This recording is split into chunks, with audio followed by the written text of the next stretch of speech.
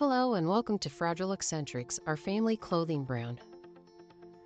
Our business started off small. Um, it started in the dining room.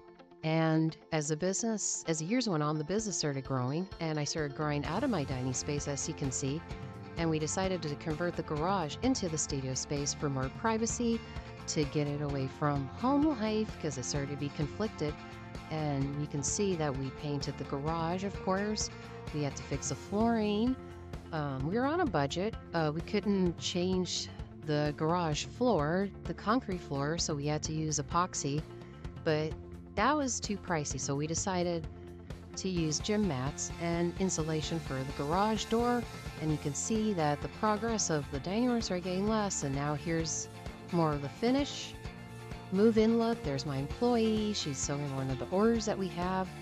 And we're fixing to fix some summer dresses, perfect for splash pads. And yeah, it's coming together. Uh, still a work in progress. I had to, the whole way of surviving this was organization. But yeah, here it is. It's pretty much, pretty much done. Um, still need some work. Still got some shelves.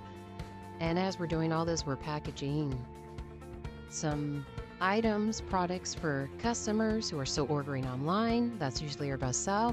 Our best sells are boys' shirts and men's shirts. And here's a little example of what we make, what we create here. Uh, like I said, I'm really proud, and I hope you guys can check out our website. Thank you for